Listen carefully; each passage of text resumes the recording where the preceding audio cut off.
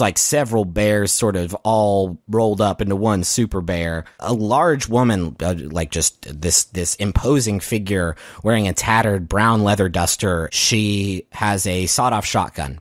I'm ready to present Dr. Harris Bonkers. This room's other inhabitant, who is Kirby. Uh, Kirby's in his late 20s, kind of sloppily dressed, and uh, he's typing feverishly into an old MacBook that he has. Somebody who is like gleefully pursuing the opportunity to get rid of your establishment. Yeah, it is Jake Cool Ice. And he flashes a hang 10, and he says, No problem, mama.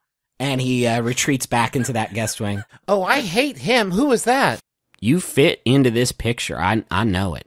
Okay. Yeah, it's literally the only time anyone's ever been helped by community theater.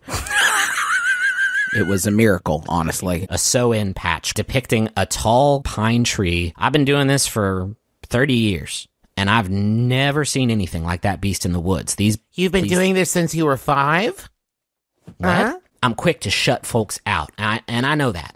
This life I live requires it. But, Aubrey, I am proud beyond belief to know you. You did something last night that few folks can do, and I'm not talking about shooting fireballs out of your hands or slaying a monster the size of a Volvo either. I'm talking about the moment that you decided to step foot into that cave. You did something hard last night, something scary and necessary, and you did it without hesitating, not for a second. And that courage, Aubrey, I'd, I'd say you remind me of myself when I was younger if I didn't think it made me sound like a self flattering old fart, but yeah, you know.